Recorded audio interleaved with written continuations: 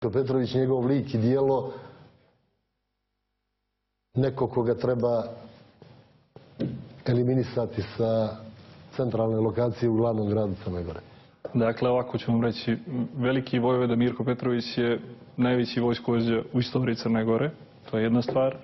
Druga stvar, uvažavajući ono što je njegov doprinos borbi za nezavisnost Crne Gore, ja želim da i ovom prilikom odam poštovanje i izrazim zahvalnost aktualnom gradonačelniku Stijepoviću zbog odluke da se taj spomenik vrati tamo gdje je stajao dok nije porušen nakon 1918. A što se tiče sklanjanja sa, kako je tu rečeno, kučke teritorije, da budem potpuno ličan, prvo će neko morati mene da sloni odavde da bi to, da bi to uspio da uradi.